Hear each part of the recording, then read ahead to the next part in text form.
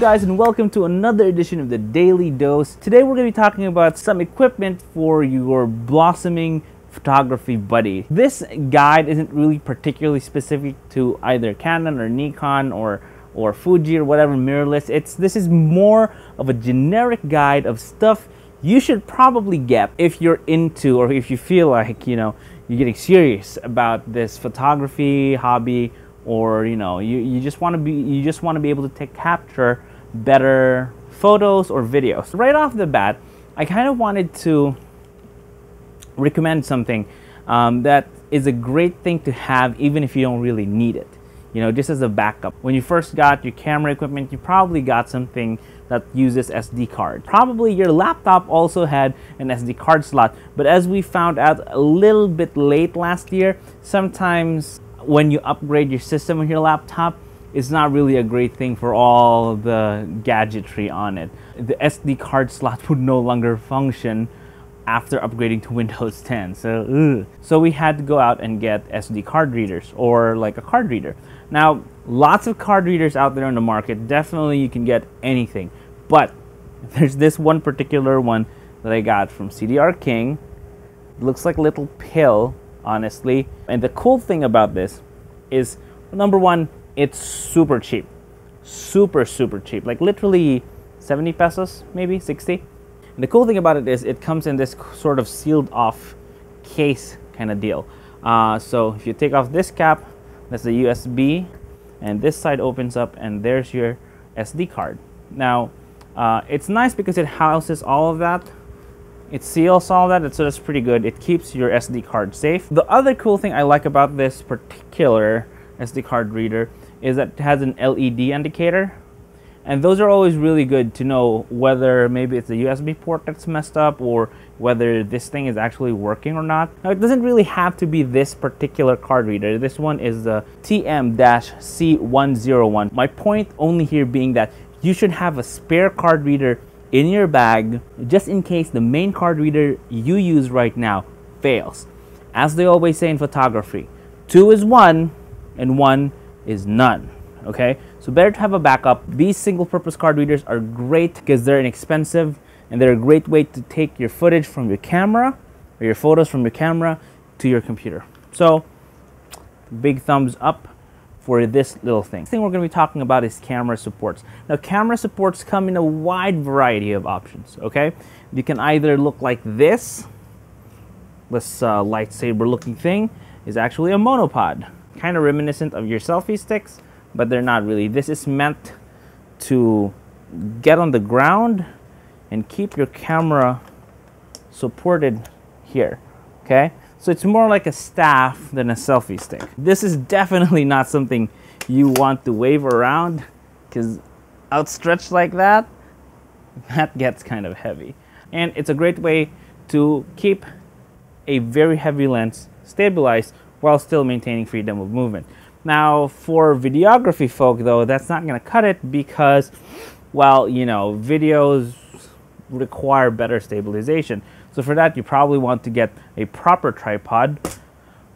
And I don't have a proper tripod here, but you get the idea. Though for more creative shots, you could also go with something like this.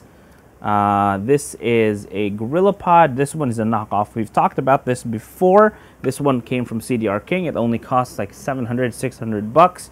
And it's a good way to get a very, very low angle on a shot. Man, I wish I had the tripod here. Hold on, let me get a tripod for you guys. Okay, for your more serious videography needs, you probably need something like this. This is a Manfrotto tripod. This supports up to like 15, 20 pounds. The tripod itself is only important because it should be able to support the weight of the camera that you're using. But where real magic is, is in the head. This is a fluid head and that's important because gives you great panning shots, smooth as butter. But that's only if you're super, super, super serious about videography. But otherwise, it's really heavy. It's a pain in the ass to carry around. Uh, ah. The whole point of that entire segment is that camera supports are integral in getting better output, like what we're doing right now.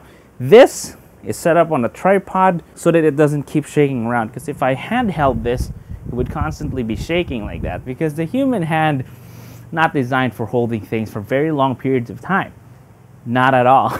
so depending on what kind of photography you do uh, or videography you do, any of these things could be important. But the whole point is that you should get at least one in your camera bag just so that you have it in case you need it. Again, better to have it and not need it than to need it and not have it. So that's all about camera supports or stabilizers or yeah, camera supports. The last thing I'm going to be talking about is this lens.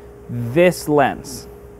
The Canon 50mm f1.8, also known as the Nifty 50, also known as the Plastic Fantastic. Why is it called the Plastic Fantastic?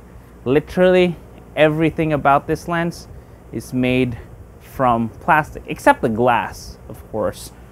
Let's do a quick pros cons of this kind of lens. So if you notice, it only says 50 mm, whereas your lens on your camera probably says something like 18 to 55. What that means is this is called a prime lens or a fixed zoom lens or a fixed lens. It doesn't zoom in. It just stays a very particular field of view. That is both limiting and liberating because it forces you to have to move closer or further from your subject depending on the framing that you want. Now, why this particular lens? Well, this particular lens I recommend people to get. This is a good lens. It's super sharp and it's cheap.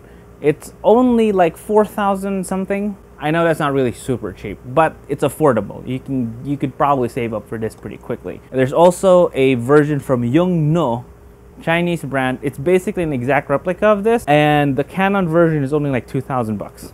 So go figure. Now the other reason this lens is a very good buy and why you should definitely get it in your arsenal next is because of its aperture. If you don't know what aperture is, I have another video, a link to it down below, explaining what aperture is. Go click that. Um, but effectively, it's a very wide aperture, allowing you to get those really creamy bokeh shots. Here, let me show you. So right now, what you can probably see is uh, me in focus and the thing in the back slightly out of focus. But that's only because the aperture on this lens right now is set at f4. That's as wide as it can get. Okay. Now I'm going to switch over to the new lens. Okay. So that self same, so that same effect you saw earlier with me being in focus in the background, slightly out of focus, is exaggerated when the aperture becomes lower. So this is now set at f, like f2. So earlier was f4, this is f2. So the thing in the background is now much, much blurrier. And that's kind of the effect that having a wide aperture lens gets you. The avenues here for creative expression are much, much, much better now. It allows you to isolate the subject that you want and it allows you to just do a lot of nifty stuff. It's also, it's a lot closer compared to the zoom earlier. And that's probably one of the biggest limiting factors of this lens is that, I mean, the zoom it has is pretty far and you can't really zoom out because it's a fixed lens. Pros and cons.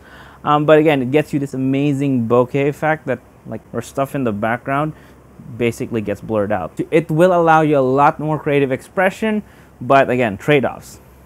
Very, very narrow. So like, it's pretty close to the face. Should I switch back to the other lens? Nah, I guess that's it for today's show.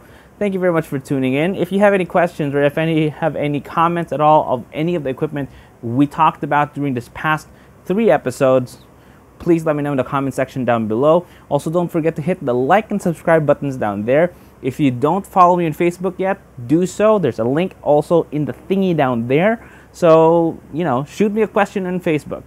What did you think of all the equipment that we have here? And is there any tech that you got last Christmas that you can't live without in the new year? Again, thank you very much, guys, for tuning in. Don't forget, tune in every day at 9 a.m. for a new episode of Daily Dose. We'll try to make it as interesting as possible. I will see you guys tomorrow. Until then, stay safe and you guys stay on.